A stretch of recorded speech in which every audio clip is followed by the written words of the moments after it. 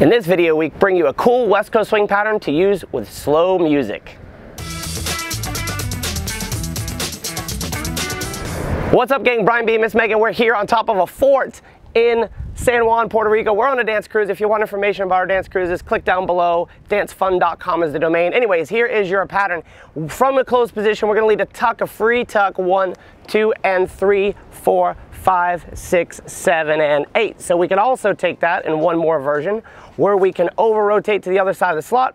If we start from the tuck, one, two, and three, four, we walk five, six, seven, and eight, and we walk it out into the next pattern. So this can work anytime you're in closed position.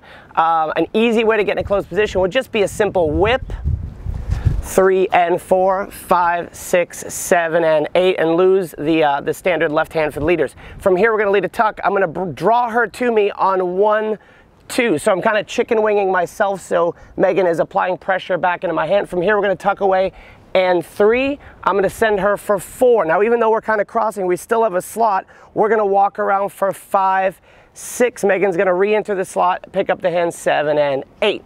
And uh, this was brought to me by my friend Jonathan. I'm gonna link up a picture Jonathan. He was a dance host on our cruise, great dancer, great DJ. Um, anyways, he was talking about the fact that this works great because at this point, it becomes a visual thing where we can lock eyes on a slow song and pick up the anchor on any two beat increment. So the variation of which is if I can pick up the hand, I can over rotate the anchor, come out the other side of the slot. We walk one, two, and three, four, we walk five, six. I can over rotate and then I can take this in whatever I want, but in this case, it's an inside turn. So let's try that from the other side.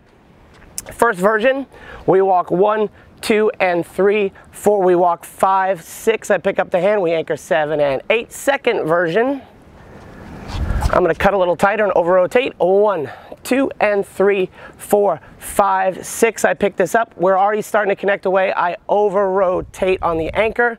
I walk Miss Megan out downhill and there is i'm going to make her duck on this crazy thing your move of the week so go ahead and uh, subscribe to our youtube channel head to westcoastswingonline.com enter your email get on our move of the week. If you want to visit one of our dance cruises dancefun.com is the domain. A link is in the description below. And you can join us in awesome places like this